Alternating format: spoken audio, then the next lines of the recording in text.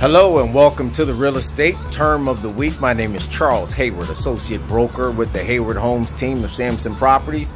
Out on a beautiful day representing my Howard University Bison, HU. Uh, today's real estate term of the week is underwriting.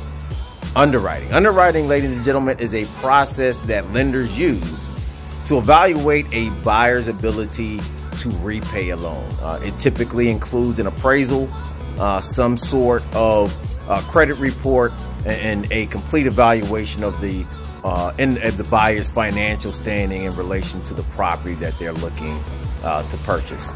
Uh, it starts just after a contract has been completely ratified and ends with settlement and a buyer becoming a new homeowner.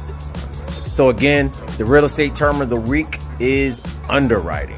Thank you again for joining me. If you're interested in more terms of the week, go ahead and fill out your uh, the form below, enter your email address, and we'll get out an entire list for you uh, so you can start uh, learning and educating yourself more on how to become a homeowner. Thanks again for joining me, and I look forward to talking to you soon. God bless.